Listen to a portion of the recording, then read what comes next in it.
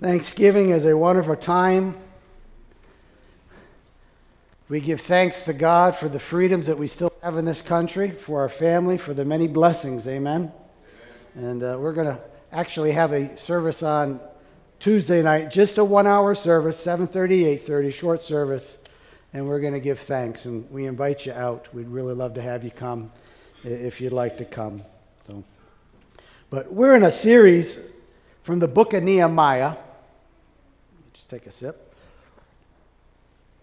And I hope that you're reading with us through the Bible. One of the sad things of the American church is that a lot of people are becoming biblically illiterate. They don't read the Bible, they don't listen to the Bible anymore, and that's a dangerous thing. Very dangerous. So that's one of the reasons why we're asking you to read uh, 10 chapters a week, and I've been trying to preach along. Sometimes I get a little ahead of myself, sometimes I get a little behind. But we're finishing up Nehemiah, and I may stay in the book for another week or two. But last week, I talked to you about looking differently at problems looking different at problems. Because a lot of people say, oh, they just give me a headache. It's just such a headache, all the problems. And I said, you know what? You should look at problems from a divine perspective because sometimes the things that come into your life as problems are God ordained for you to fix. You can be a walking solution to someone's problem, and you bring glory to God when you do that. So, we talked about that last week, looking at Nehemiah. Nehemiah saw a huge problem in Jerusalem, and he left his country, his family, he left his position, and he went back to rebuild the wall and hang the gates and change the whole atmosphere of these depressed people because the work of God had come to a stop in Israel.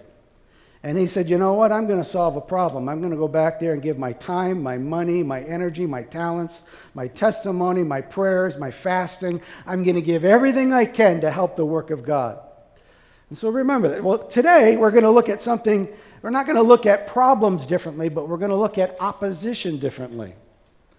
Opposition. When things come into your life and oppose you, uh, maybe you think, you know what, I just can't stand those people that oppose me. Well, Sometimes they're God ordained, sometimes they're not. And you need to look at it. Because sometimes we forget that all the principles that Jesus Christ taught seem upside down to the principles that the world teaches us. You know, the world tells us climb up the ladder of success, kick people off the ladder as you go up. You get someone off the ladder, you get up there quicker. But Jesus says, no, no, no. Humble yourself in the sight of God, and He will what? He'll lift you up. It, it, it seems different. Jesus said, Some first shall be last, and some last shall be. That don't make sense. The New Testament says, You draw near to God, and then God will draw near to. Oh no, if the big guy in the sky wants me, he's got my address. How many have heard that one before? No. You draw near unto God, He draws near to you. All right? Let me give you one more. Jesus said, with your finances, give it away. Give to the church, give to the poor, give to the people. Give to your brother, sister. Give, and it shall be given back to you. Good measure, pressed down, shaken together, running over. For with the same measure you give, it shall be given back to you. That doesn't make sense, does it? The kingdom principles seem awfully different from the kingdom or the worldly principles we learn. And so you have to look at these things how the world looks at problems and how Jesus talks about problems. And today we're going to talk about opposition. Nehemiah says, You know what? I'm going to go back. I'm going to help these people with the work of God, and we're going to go back and we're going to rise and we're going to build the wall. And anytime the people of God say, Let us arise and let us do a great work for God, Satan says, Let us arise and let us oppose the great work that they're trying to do for God. You with me? He always opposes what the people of God wants to do. And he always has people that will help him oppose. And so we're going to look at this because I want you to know opposition in your life doesn't mean you're doing something wrong. It could mean that you're doing something absolutely right. People say, I got no problems. I got no problems. I got no opposition. Well, how many know when the devil's walking arm in arm with you, you're not going to have any opposition?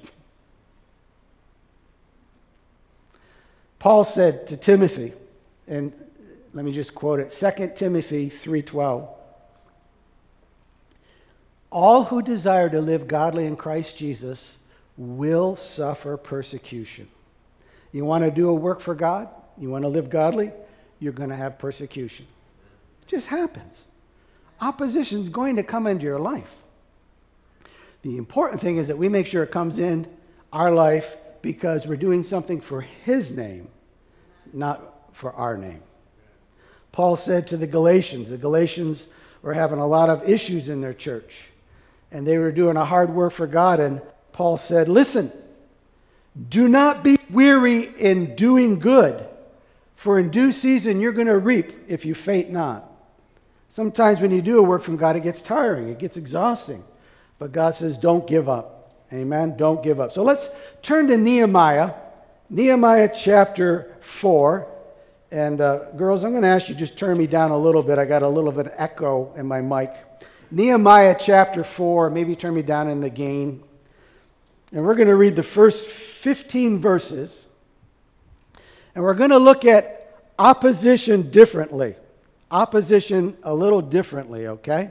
Turn me up just a little bit more on the monitors. So it happened when Sanballat heard that they were rebuilding the wall doing a work of God, doing something for the kingdom of God, that he was what? Say it out loud. You think you're going to do something for God and the, and the people of the kingdom of the darkness is going to be happy? He was furious and very indignant, and he mocked the Jews, all right? He mocked them, he opposed them, he ridiculed them. And he spoke before the brethren in the army of Samaria, not the army of Israel, the army of Samaria. And he said, What are these feeble Jews doing? Will they fortify themselves? Will they offer sacrifices? Will they complete it in a day? Will they revive the stones from the heaps of rubbish, stones that are burned? Now, Tobiah the Ammonite was beside him. And he said, Whatever they build, even if a little fox goes up on it, he will break it down, their stone wall. And so Nehemiah prayed this prayer Hear, O God, for we are despised for doing your work. We're despised for doing what's right. Turn their reproach on their own heads and give them as plunder to a land of captivity. He says, we, we are in captivity for seven years. We're just coming back. We're trying to do a work of God. And they're mocking us and they're just opposing us.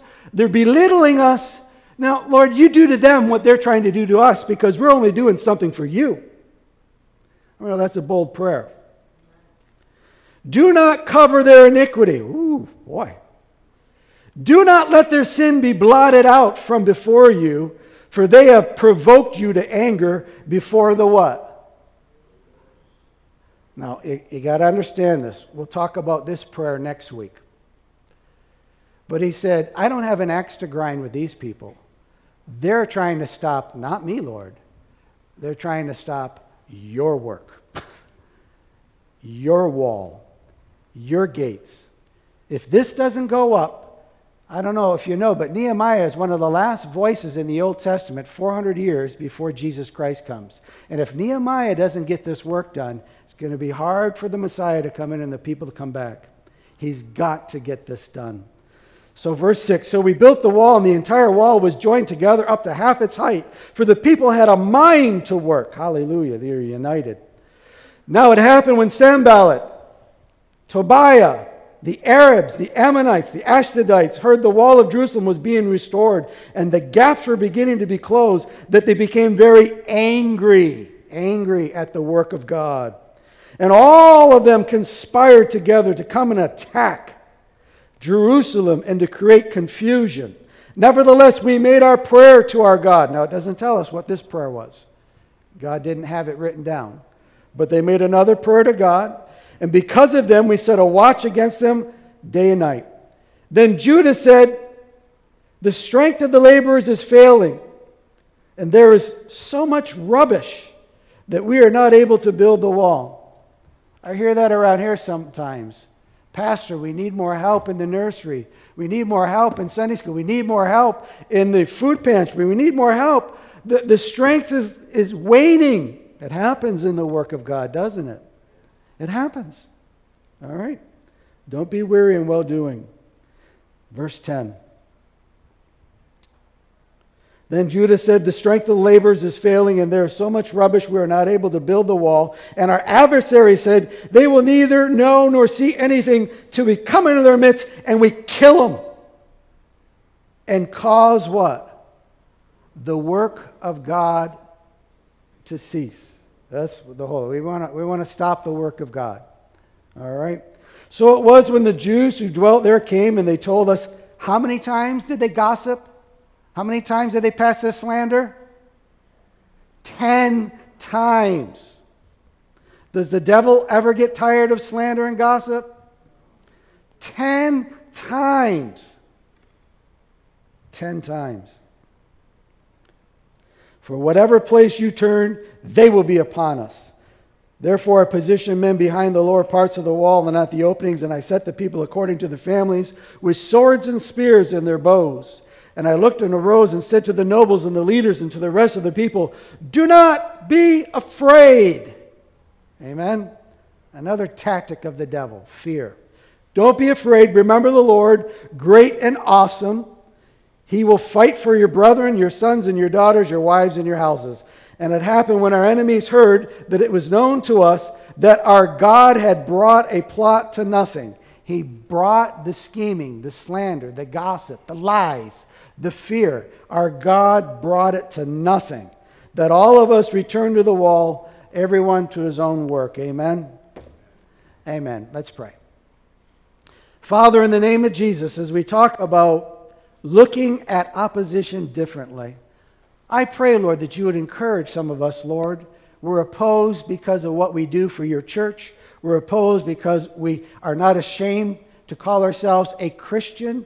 We're followers of you. Some of us, Lord, oppose us at work. Some of us oppose us at home. Some of us oppose us in our neighborhood. But Lord, I pray, Father, that you would encourage us. Help us to, Lord God, take heart that opposition is a part of doing something for you. And I pray, Lord, that you would, Father, encourage us all today in Jesus' name. Amen. Amen. So the enemies of God, Sanballat, Tobiah, Ashdodites, Ammonites, and even some of their own Jews, began to oppose the work of God and ridicule them, mock them make up stories and lie about them and pass it all around. It was terrible. But I want you to know that one of the chief weapons of Satan in his arsenal, how do you know that we have weapons in Jesus Christ? The weapons of our warfare are not carnal, but are mighty through God to the pulling down of strongholds. We have the weapon of the Word of God. We have the weapon of the name of Jesus. We have the weapon of the blood of Jesus. Amen. Don't we have several weapons that we can use? I mean, you know, Satan has weapons. And he uses those against us. He uses them against the church. He uses them all the time. And one of the great weapons of Satan was what I was talking to the children about, is when he ridicules us. Some of us would rather get punched in the gut than to have someone ridicule us. We can at least take the pain right away, but ridicule just keeps going on and on and on. And it says that 10 times they ridiculed them, they lied, and they slandered. And sticks and stones may break our bones, but names don't hurt. They do hurt, don't they? They, they do hurt. It's not easy being ridiculed as a Christian, but it's going to happen. You need to know that. Young people, it's going to happen. Now, I remember when I was a teenager and I began to feel God was impressing upon me that He wanted me to go to Bible school. And I remember some of my friends began to ridicule me and say, You just got accepted at two major universities in Canada. And so, young people, not everyone who hangs out with you is your friend. Remember that. Not everyone who wants to hang out with you is necessarily your friend. I only had one person who didn't ridicule me for my choice to go to Bible school, uh, and it hurt. I realized I had to start distancing myself from people who I realized weren't my friends. You know, some of the most challenging things are for people who are, who are married to an unbelieving spouse and they go to church and they're ridiculed for their faith. That's not easy. And they're in every church, ridicule. I remember when I was in high school, I had one English teacher found out that uh, English literature, he found out I was a preacher's kid, and he'd often throw little jokes and ridicule when he says, Oh, yeah, the book of Acts, Acts 1 to 8. Oh, yeah, those were the first communists, you know. They sold everything and put it all in a pot, so everyone divided everything. Yeah, yeah, they, they, they, they had it before Stalin. Little jabs. Anyone ever been jabbed at like that? Am I the only one? yeah. And of course, as a student in high school, I have no authority over the teacher to tell him off, even though some young people in high schools do today. I have no authority to do that. You don't go beyond your authority. So you just take it and you say, Lord, you remember. You remember. Well, if you want your Christianity to bring a reward to you in heaven, you need to do something for God, for the kingdom. You may not build the wall, though some of you may have been a part of building this church and building some walls and that. But you can get involved in a ministry of a church. But if you do, you're going to get some opposition. It's going to come to you. And I want to encourage you. It doesn't mean you're necessarily doing something wrong. You might be doing something right. So let me give you just five things as we look at how Nehemiah dealt with the opposition, how he tried to encourage the people in the work of the kingdom, all right? So, the first thing, let's go to number one. The first thing you need to remember when opposition comes crashing into your life as a follower of Jesus Christ, you got to consider the cause of the opposition. Why are people ridiculing and slamming you and, and making up schemes and, and all this other stuff, trying to intimidate you or manipulate? Why are they doing it? Is it because you're doing something for God? Well, that's good. Go to the next scripture, please. This is what happened to these enemies of the work of God, Sanballat. And so when Sanballat heard that we were rebuilding the wall, he was furious, indignant, and he mocked the Jews. Let me tell you something. Everybody has a Sanballat in their life. Anyone know who their Sanballat is? if you don't have one, you're going to get one.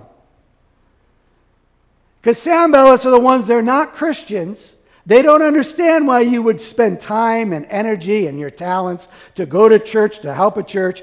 And what non Christians can't reason, they ridicule. And you can't get too mad at them because they're in the kingdom of darkness. How are you going to expect people in the kingdom of darkness to understand things in the kingdom of light? And so, what some people can't reason why you do what you do for God, for His church, for the kingdom, they ridicule. They'll do that. And they've done it to me, and they'll do it to you. Well, let me give you some of the weapons of Satan that you'll be opposed with if you try to do something for God. All right?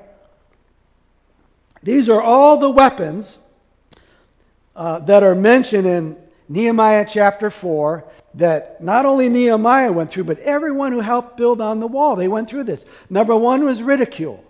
Second one was a conspiracy. As you read through Nehemiah, they accuse Nehemiah of setting himself up as a king. It's a lie. Conspiracy.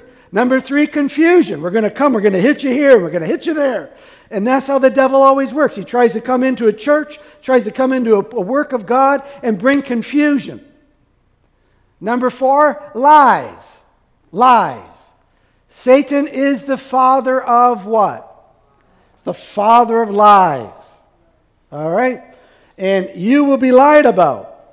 Satan will make sure you're lied about. Jesus was lied about. You and I will be lied about. Uh, e is gossip. People will gossip about you. And then F is fear. These are the weapons that always try to come in and destroy the church. You know, probably the one that is the most guilty in every church, not just our church, every church, and let me just warn you, is gossip. You know, when you hear something and you can't validate it, you are either a open door, or I'm sorry, you're either a gate or a door. You're either a gate where you let that gossip go into your mouth, into your heart, and back out of your mouth to someone else. That's called being a gate of gossip. Or you slam the door shut and say, Can I quote you on that, Dan? Can I quote you and go tell Pastor Roger? No, no, no, don't, don't quote me. That's, that's what someone told me. Did you verify that? No, I'm just, you know, I just heard it. Gossip is so painful. It really is. I was talking to someone a little while back, and uh, someone in their family died, and there was a lot of confusion over the death. And someone began to spread a rumor and gossip. And no one knows who started it, but by the time it got to the person who lost the loved one, they were told that your loved one died because they cheated on their spouse, and that's why they died. See how gossip goes? And you say, Well, I, I, didn't hear that one. Well, if you gossip, you're, you're going to be judged for all the gossip that goes on. How would you like to be the loved one to hear something like that? So it's a lie, it's gossip, it brought confusion, and can you imagine the pain? Can you imagine the fear? Well, if that's true, maybe they're not in heaven. Don't be a gossip. You're aligning yourself to the wrong kingdom. All right? Listen to me. When someone says, Hey, did you hear so and so about Pastor? Say, No, I didn't. But can I quote you on that? Can I quote you on that, Jay? Sure, go right ahead. Good. I think I'm to. That's how you stop the work of the devil. Be a door, don't be a gate. Amen? This is what Nehemiah went through. This is what the church goes through. And it's important that we stop and we recognize the arsenal of Satan, and we don't use those tools. Amen? Consider the cause of why you're being ridiculed, why you're being opposed. Number two, consider the character of the person who is opposing you, who's giving you trouble at work, trouble at home, trouble in the church, trouble in the neighborhood, trouble around the Thanksgiving table. Everyone's got someone in the family that's going to have some trouble around the Thanksgiving table. There's at least one. What about Bob? Anyone ever see that movie? What about Bob? Everyone's got Bob in their house. Consider the character. When you get ridiculed, you have some enemies, and they begin to oppose you. Remember, are they opposing you because they don't know Jesus Christ, they don't know any better. They're in the kingdom of darkness. How many know you can't judge someone who's not a Christian the same as we look at fruit of a Christian? And you're going to be opposed. It hurts more when it comes from people who you thought were Christians than it does people who are not, but it's going to hurt. Put up the next scripture. The apostles of Jesus Christ they were doing exactly what Jesus said. They were preaching the gospel. They were talking about the resurrection of Jesus Christ. And they were called into this big religious council. And they were just told off and said, You can't preach that name. And you got to stop putting his sin on us. And, and they beat him and they said, Get out of here. And it says, And they departed from the presence of the council, rejoicing that they were found worthy to suffer what? Shame. Why? For his name's sake. See, when you get ridiculed for his name's sake, that's a good thing. It can still hurt, but how many know that's a good thing? You're just like Christ. And he was ridiculed, he was put down. People say, Well, Pastor, I don't know what you're talking about. No one's ever ridiculed, no one's ever mocked me, no one's ever opposed me for my Christianity. Well, let me tell you something. Don't tell too many about that. Maybe you're a closet Christian. Because if you're a real Christian, you will be ridiculed. You will be opposed. And it will come from your family. It'll come from a spouse, from children, from aunts and uncles, cousins. You're going to get it. But rejoice that you are found worthy to suffer shame, even from the ones in your own family. Rejoice and say, Well, Lord, I thank you that I am. There's no way around it. If you're living out your testimony of Jesus Christ, you are going to be opposed. Someone's going to laugh at you. Someone's going to ridicule you, all right? Remember that. Opposition sometimes is a, a hidden badge that you're doing something right with your testimony of Jesus Christ. And if you're never being opposed, you need to ask Jesus, why am I not being opposed? We don't look for it. We don't look for it, but it does come with the lifestyle. Amen? Mark it down. When you go for God, when you go to do something for God, when you're going to do a work for God, it's going to bite you. Satan is not going to let you do something for the kingdom of God without pushing back. But I have good news. As God told the Apostle Paul, My grace is sufficient for you. His grace will be sufficient for you to keep doing what God's called you to do. Amen? Amen. Number three, consider the cause, consider the character of the people that are opposing and ridiculing you. And number three, consider the company that you keep. I mean, it's important that you keep some good company, some good Christians. You know, if you're blessed and you have more than one Christian in your family, you ought to encourage one another. I'm proud of you all for being here today at church. Hebrews says, Let us not forsake the assembling of ourselves together. Let us not stop going to church as some are in the manner of doing, but let us encourage one another as we see the day of Christ approaching. Good for you. Some people have not yet come back to church. I can't wait till you come back to church, all right? Because in church, this is where we encourage one another. It concerns me because becoming a church goer is a habit and stop going to church can become a bad habit. You need to have company of those who can encourage you, lift you up. Nehemiah realized this. He didn't hang out with the Tobiahs, he didn't hang out with the Sanballats. He hung out with the people that were doing the work. All right? Different people, like the ushers hang out with ushers and people involved in the food pantry ministry. They hang out, they encourage, they joke, they laugh. It's what you're supposed to do. You're supposed to lift each other up. Even Jesus realized this. And he was ridiculed for a lot of things that he did. Not even, he wasn't just ridiculed by the religious scribes and Pharisees and Sadducees, he was ridiculed by everyday people that just didn't understand what he was doing. There's a story of him going to pray for a, a pastor, a ruler of a synagogue. We'd call them pastors, a ruler of a synagogue. His name was Jairus, and his daughter was dying. And you have to understand the theology of Christ and the theology of Christianity. We really don't believe in death, though we talk about it. Death means eternal separation from God.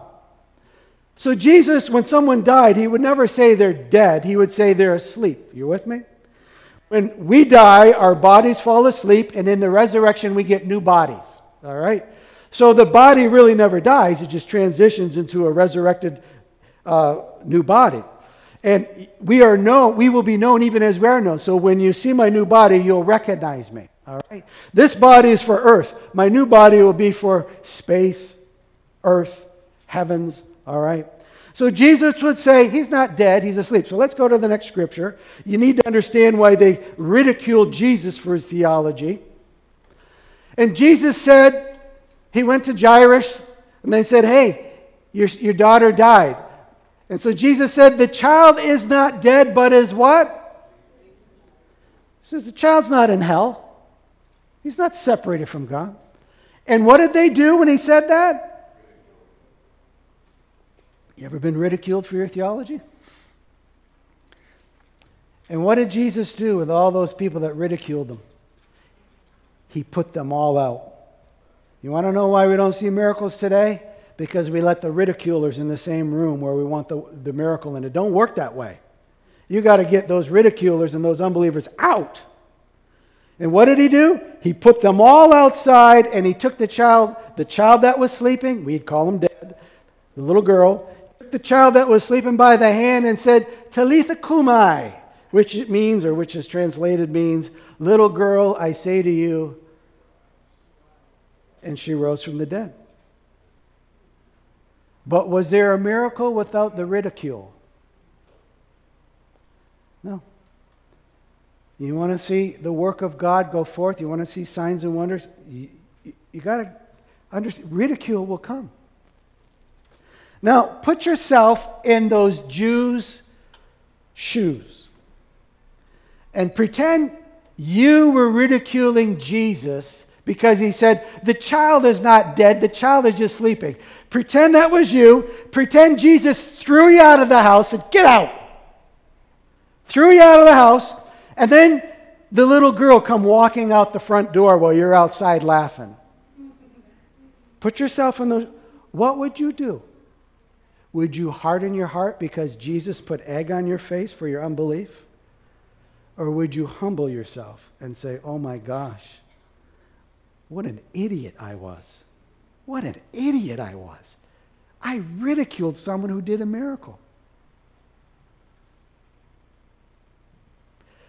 Consider the company. Consider the. See, this is what um, Nehemiah had to deal with. Nehemiah was trying to get them to build the wall, and, and Jerusalem is huge. And he's building the wall over here, and he's motivating people, and he's encouraging people. And Sanballat and Tobiah are just spreading lies and gossip and schemes and, and all this stuff. And, and uh, go to the next scripture, please. And it says, He got so mad. You know, when people keep spreading lies and gossip and stuff like that, it can hinder the work of God. It can. And so that's why I said, My God, remember Tobiah and Sanballat. These are enemies because of their what? He didn't have an axe to grind with them. He had an axe to grind them because they tried to hurt the work of God. When someone opposes you, please listen to me. It's not because you're better looking than them, you're smarter than them, you have a better position th- than them. When someone is opposing you and you're a Christian, it's because of Christ in you, the hope of glory, and they hate it. They hate it. And look what else. They had a prophetess named Noadiah, a so called prophetess, that was manipulating her prophecies, and the rest of the so called prophets who have made me afraid. This is what he said. They had so called, not everyone who claims to be a prophet is a prophet, you know. Not everyone who claims to be a prophetess is a prophetess. How do you know someone's truly a prophet or a prophetess? Thank you. You shall know them not by their prophecies. The prophecies that I give are to be judged. The prophecies that Pina gives are to be judged. The prophecies that Herman or uh, anyone else, Nancy, may be judged. But it's not how anointed you are, it's how straight you walk. The fruit. It's got to be the fruit. In the church, we sometimes idolize certain gifts. And if people has a gift, we go, oh, wow, they prophesy. They're a prophet. They're a prophetess. You look at the fruit. And we're allowed to judge each other by the fruit. We're allowed to do that. Amen. But not only did Nehemiah have problems with people who were the so called prophets and prophetesses, go to the next scripture. He had people from his own nationality. For many in Judah, the Jews, were pledged to him, Tobiah, one of the enemies, because he was a son in law to Shechaniah.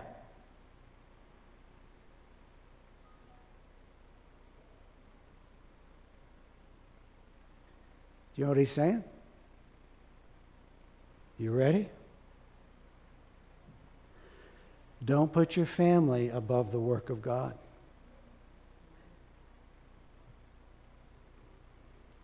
Oh, he's from such and such a family. Don't go near them. That's called idolatry. When you put a family, a person, above the work of God.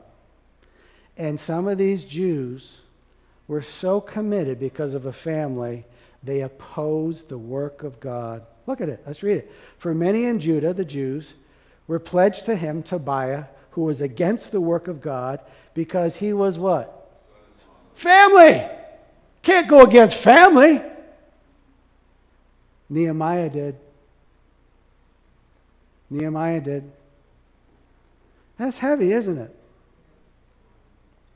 Now, if you have an unsafe spouse, an unsafe children, you know what that's all about. Very heavy, dangerous. But they scorned. They laughed at Jesus on the cross too. But let me just encourage you. All right? If the devil is scorning you and laughing at you and ridiculing you, don't let him laugh you out of the church. Don't let him laugh you out of your family. Don't let him laugh you out of the work that you're doing for Jesus Christ, because that's the whole purpose for ridicule. That's why he's opposing you. He wants to wear you down. He wants to get you to stop. He doesn't want you to have fruit. He doesn't want you to have a reward in heaven. He wants you to say, It's just too much. It's just too much. It's just too much. Don't let him do that. Amen. Number one, consider the cause of why someone is opposing you. Are they opposing you because you're being a jerk? Or are they opposing you because you're being Christ like? All right? Number two, consider the character. All right? Maybe they don't know any better. They're in the kingdom of darkness. They don't understand you because they can't reason why you do what you do. You know what? That's why they ridicule you. Number three, remember the company. Listen, we all need encouragement. We all need to be lifted up and exhorted, and we all need to, you know, keep the good walk of faith. Make sure you got some good friends around you. That's why the church is so necessary today. And then number four, consider the compensation one day that you will get from Jesus Christ because you did a work for him down in this world. You gave your treasures, you gave of your time, you gave of your talent, you gave of your testimony. I mean, you sacrificed sometimes out of your family and other things just to do something because you saw the greater good. Amen? You saw the greater good. Jesus said this one time. Um, go to the scripture, please. He said, When men persecute you, they ridicule you, oppose you, and they revile you, and they will, they will, and say all matter of what? Evil against you for my name's sake. All right, you got to remember, it's not because you're stubborn and you just can't ever be wrong and you can't ever admit to a mistake. It's not what he's talking about. You're doing it for his name's sake. Rejoice and be exceedingly glad. Read the rest with me, please. For great is your reward and heaven. Amen. There's coming a compensation, and those are eternal. All right? They're not like a paycheck that disappears, and it's eternal. It's eternal. When we get to heaven, all right, I'm praying and I'm believing that we may be the generation that actually sees the rapture of the church of Jesus Christ. Wouldn't that be nice? I often say, let's do a rapture practice. We're all going to go up, rapture practice. But if we don't, and some of us fall asleep, when we get our resurrected bodies, the first thing that will happen up in heaven, all right, marriage supper of the Lamb, and then the judgment seat of Christ that you do not need to fear. If you're a follower of Jesus Christ and you are letting your light shine, you are glorifying God by doing good works down here, you will be rewarded at the judgment seat of Christ. It's called the Bema seat. We all will appear before the Bema seat, and all that we've done will be put through the fire.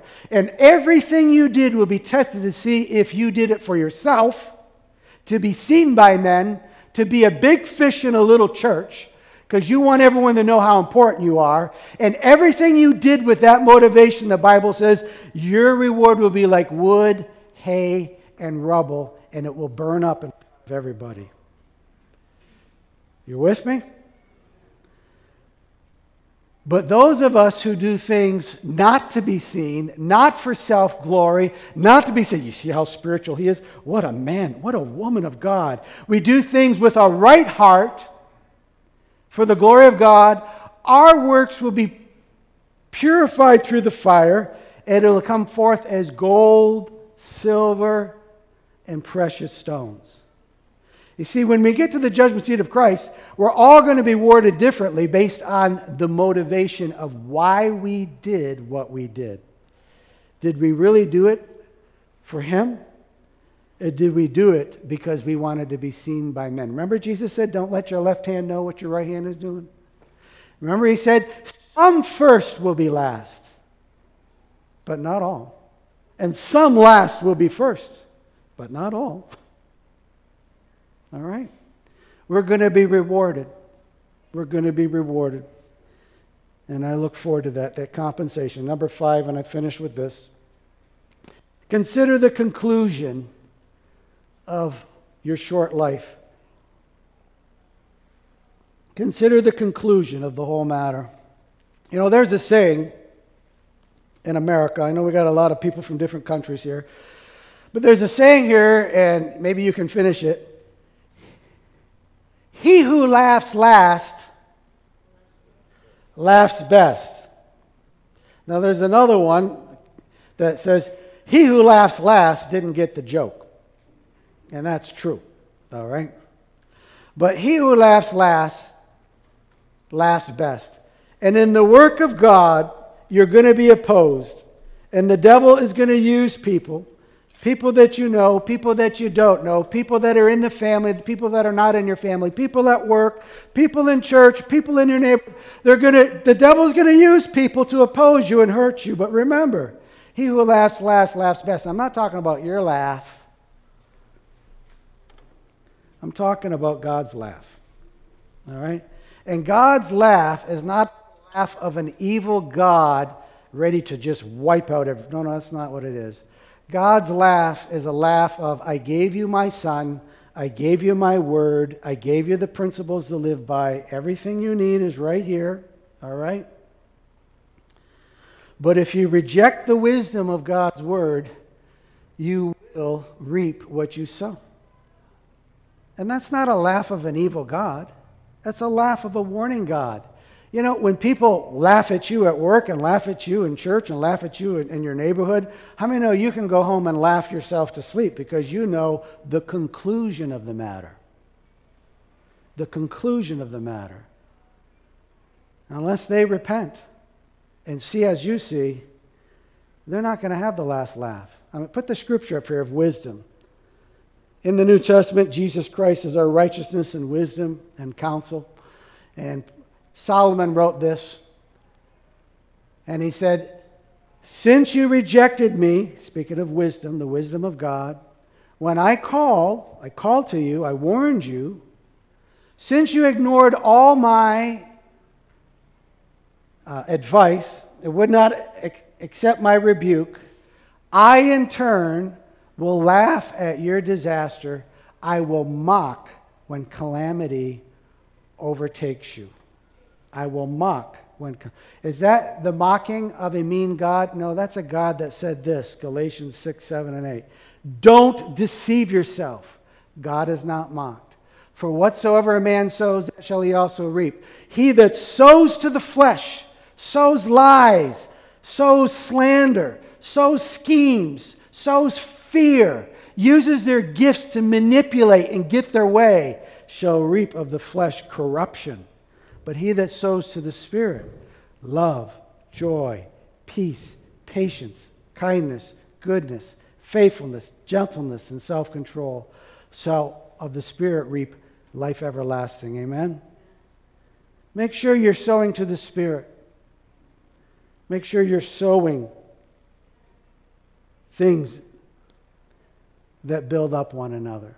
Make sure you're sowing to good things. You're sowing to good things. You know, Roger recently talked about, uh, we had a board meeting this sun, uh, Wednesday, and we talked about, uh, uh, one, of, one of the deacons said, you know what, what can we do to really, you know, protect the church and people? And so we came up with, you know, putting the signs up. And I want to tell you something. That was a united decision of the board. Do you know, as goes the board of a church, so goes the board? You know, when a church is united, it's because a board is united. You need to know that. Because sometimes the devil gets around and he tries to spread a little slander, a little lie in the church. You know how he spreads a little lie and a slander in the church? Someone says the church is divided, pray for unity. The church is divided, pray. I've heard that in this church. Stop saying that. The church is not divided. The church is not divided. The church is united. You need, if you hear someone say that, tell them, no, no, no, that's a wrong prayer request. The church is united. You need to know that.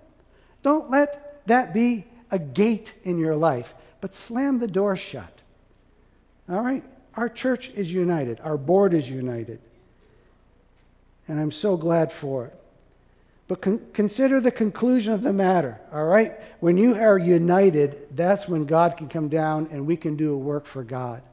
And we want to be united so we can do a work for God. Amen? Only the kingdom of God will last. I conclude with this a true story of the Roman Empire when it once existed. There are two little boys that were playmates, they used to play together. One was Julian, and the other one was Agathon. Agathon and Julian were playmates, and when they grew up, they went separate ways. Julian became the Roman emperor, and Agathon became a huge church leader and became a prophet in Christianity in the Roman Empire. Julian pretended to be a Christian, and when he uh, succeeded to the throne, he decided to turn his back on Jesus Christ, and he became known as Julian the Apostate. You can Google it, okay? Julian the Apostate. So he began to mock Christians and he opposed them and he persecuted them. And he found out that his playmate friend, Agathon, was a great leader in the church. So he called him into the palace one time and he said, Hey, Agathon, how's the carpenter from Nazareth doing? Is he getting much work? I've been giving him a lot of dead people so he can build coffins for all those dead Christians. How's the work of that carpenter doing? And the Spirit of the Lord came upon Agathon, and Agathon began to prophesy, saying, Thus saith the Lord, Jesus from Nazareth is building coffins, and he's building one for you, and soon you will be in it.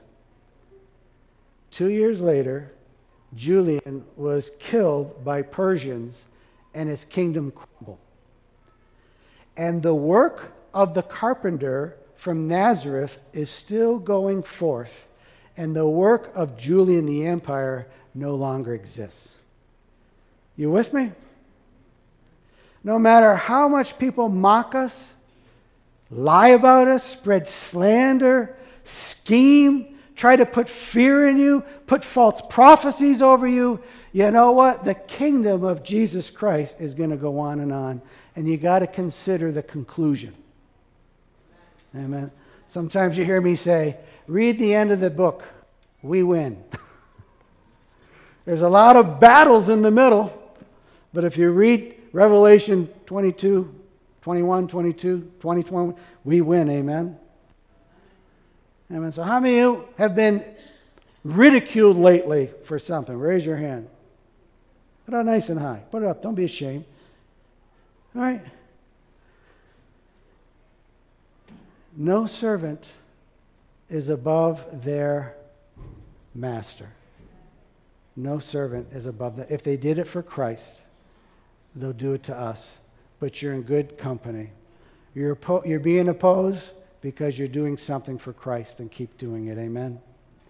Amen. Would you stand with me, please?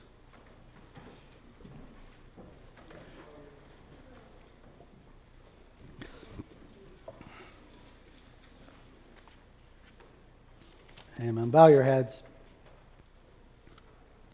Father, we have looked at your word today of viewing opposition from a heavenly perspective.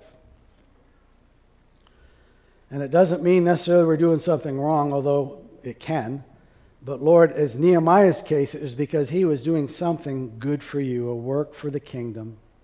And I pray, Lord God, that this message would encourage those, Lord, that are being mocked, slandered, lied about. People are scheming, people are intimidating them. Uh, Lord, help us, Lord, to realize, rejoice and be exceedingly glad, for great is your reward in heaven. Encourage us, Lord. Bless your people today. Father, I thank you in Jesus' name that you have kept anyone from dying in this church from the coronavirus. Continue to protect us, Lord. Don't let it spread. And Lord, use us to pray for people. In Jesus' name, I pray for my Aunt Ruth Ann. I speak life to her. She has coronavirus, Lord. I speak life to her in Jesus' name. Father, Romans 8 2, for the law of the Spirit of life in Christ Jesus has set us free from the law of sin and death. And Lord, I speak that over my Aunt Ruth Ann, Lord God. Thank you, Lord, for bringing Tony and Maria Capuano from it, Lord God, and others, Lord God. Protect us, and Lord, help us to celebrate, Lord, with grateful hearts this Thanksgiving. In Jesus' name, and everyone said, Amen. Amen. Amen. Remember,